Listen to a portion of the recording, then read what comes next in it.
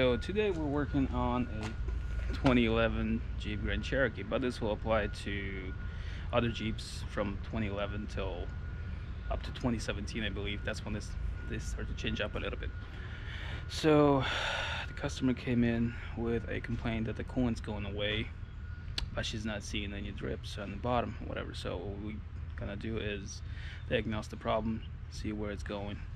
There's no white smoke that's coming out from the back you know from the tailpipe. So obviously most likely the uh, broke, uh, blown head gasket is out of the question but there could be other issues. So let's just take a look. I think what I'm going to do first is cool the car down then pressurize the cooling system and see if there's any obvious leaks. Kind of go from there. All right so I have pumped up the pressure and the cooling system and it's dropping quite fast. So after kind of looking around here's what I came found here. So if you can see I don't know if we can tell.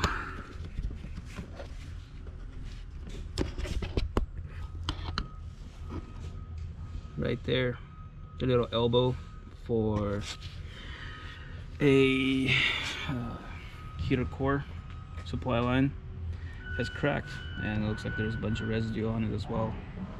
So what we're gonna do is I'm gonna call the dealer. And I'm back. So got this part right here.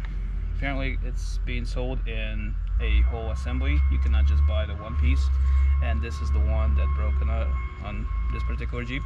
This is a uh, 2011 3.6 version of a Jeep Grand Cherokee WK, WK2 model. So let's uh, have some fun taking the Jeep apart and see how complicated this part really is to get to.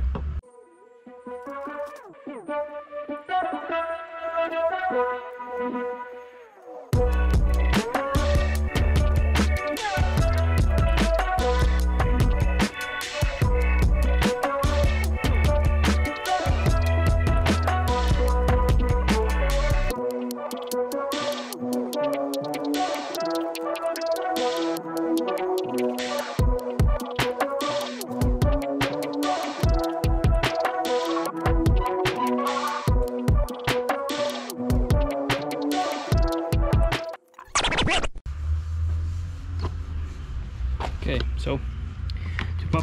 panel off, you'll need to remove the windshield wipers. I use a 15 millimeter socket for that. Put the nuts back on, on both. Remember which windshield wiper you're taking off. This is gonna be, you know, the right and left side is gonna be different. The lengthwise and the shape of it itself. Then here, you know, you can use either a flathead screwdriver to just pop this out. But this one has been taken off so many times that it just came off. Same thing uh, on the right side as well. Then you just prop it open pop it off and it's going to come off. So here just, see if I can let me set the camera down so I can use both hands to take this off. If you flip the uh, windshield wiper arms around, there's going to be a mark on the inside. It says driver, D stands for driver, and P stands for passenger. So this one's going to go on a passenger side, and then this one's going to go on the driver's side. Alright, just making sure. I would need to remove that bracket right there that holds this wiper arm on it so they're all 10 millimeter bolts. Then there's going to be one 10 10 mil bolt right here. This will come off. You can disconnect that. Just move it to the side or remove it completely. And then this whole panel will have to come out. In order to remove this panel you got uh, 10 mil uh, what do they call them a plastic nut. I'll, I'll just call it that way. Plastic nut on this side. There's one on that side this will can come off later. There and then there's two more on each side. Uh, they're like I believe they're also plastic nuts on this side and then behind the intake on that side. That's the most painful ones to get to if you got big hands. All right let's see how long it'll take us to get there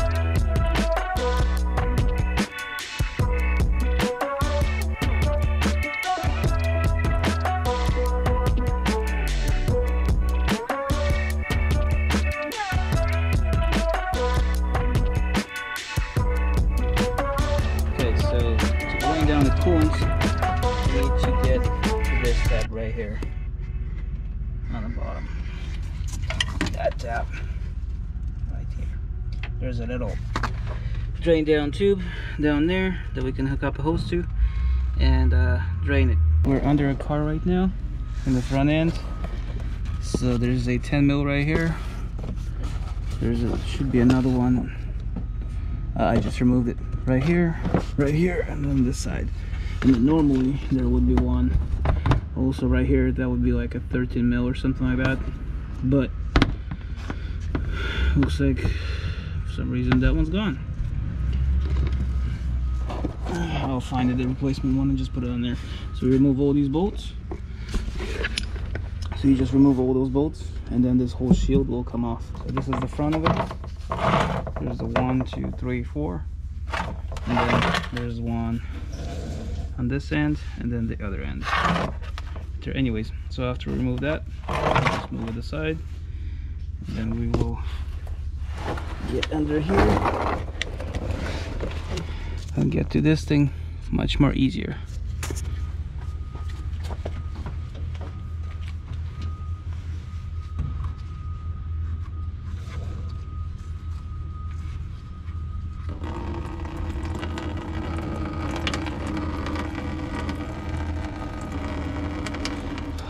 Okay, so at this point, I disconnect, or actually I did not disconnect. What I did was I, uh, the two hose clamps, I've locked them in place. You, you'll see what I mean when I show you in a second. So, this is what I mean right here. This is one of them. This is the second one, uh, right here. This is the second one, as you can see. Anyways, so to get these off you can see how the AC lines are in the way. Yeah so you have to go through on here and then so if you can find needle nose pliers with an angle and the longer handles to apply some leverage to lock them in place and then you can just slide them off like so. To this point. You know so yeah. That's that I'm just thinking maybe I can just replace the one side so I don't have to bother with this side but then again I should probably just do both with the newer stuff just in case something else decides to fail. The car does have over 300,000 miles on it so might as well just put new stuff in. Okay all right now what I need to do is break loose these hoses because they have not been taken off yet and quite a bit of time so they're probably just stuck on there quite a bit. Okay let's have some fun with that. So the other end of the hoses is going to be pretty simple. This is where this the elbow one goes to so we're just gonna use the pliers then move it to the side take the hose off then go to the right side that one right here that goes to that side that one gets disconnected right here. So you can also see how it has the locking mechanism on it. See if I can do this one hand. Weird angle.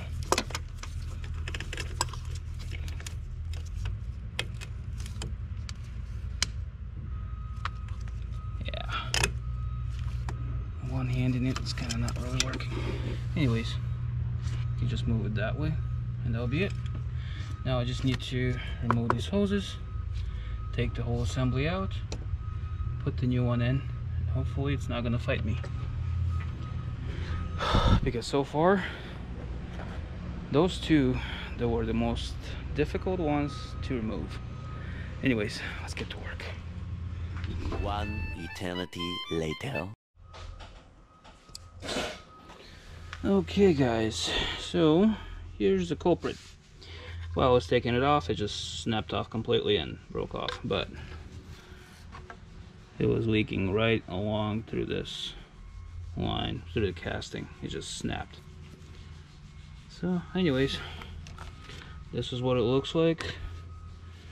And then this is the new piece in comparison to the other one. So let's put that piece in. Just kind of throw it in there. nice. Okay, and that thing's on there. Alright, well let's uh, hook up all the clamps and start reassembling the whole all the way around. Kind of the way we took everything off, we will work our way back got it all pumped up and it's been holding pretty well at the moment so it's not really dropping any pressure. Looks like that fixed the problem with the coolant leak.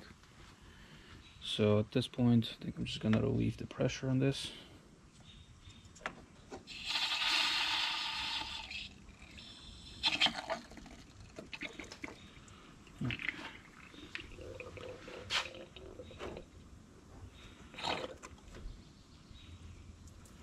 There we go.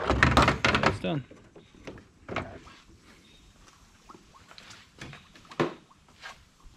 So at this point, I have pressure tested the system, as you saw. Uh, the car has been warmed up, ran, it's not overheating, keeps the coolant, pressure is going doing pretty good. So we have no loss of coolant. I think we're going to be good on this one. So let's take a look at some of the tools that we used here for this particular repair. So we need a long, long nose or needle nose pliers, 10 millimeter socket, 50 millimeter socket for the windshield wipers, you know, just in general to take stuff apart. And then you'll also need a 8 mil socket as well. Uh, and then a flathead, this guy, some channel locks, and definitely a magnet because you will drop this a couple of times into the engine bay and this will come in handy. Alright, so as always, thanks for watching. Hopefully this is going to be useful. Until next time, peace.